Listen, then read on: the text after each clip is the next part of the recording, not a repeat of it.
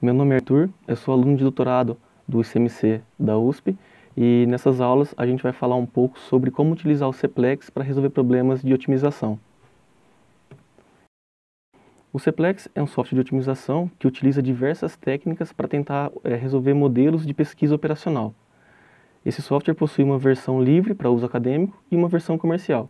Ele é disponível para vários sistemas operacionais, como Linux, Windows, Mac e Solaris. Vamos falar um pouquinho da história do Ceplex. Ele começou a ser desenvolvido em 1988 por Robert Bixby e ele é uma implementação do método Simplex através da linguagem C, por isso o nome Ceplex. Em 97 ele foi adquirido pela iLog e posteriormente em 2009 a IBM adquiriu, dando o nome IBM iLog Ceplex Optimizer.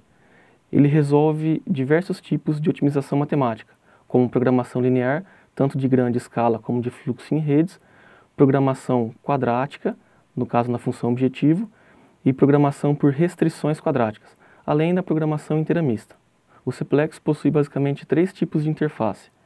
A interface OPL, que é uma IDE semelhante ao NetBeans e ao Eclipse, que a gente entra com um modelo matemático e ele chama o, o, o executável do Cplex para resolver esse modelo.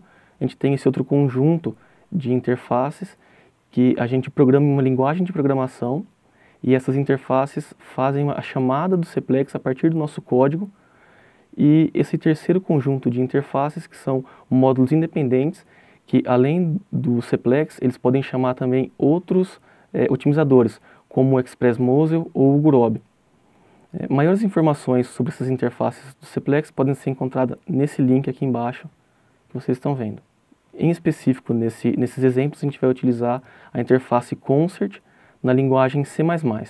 A seguir serão apresentados é, três modelos, um problema de dimensionamento de lotes, um problema de dimensionamento de lotes multi-estágio e um problema de dimensionamento de lotes multi-estágio com armazenamento intermediário.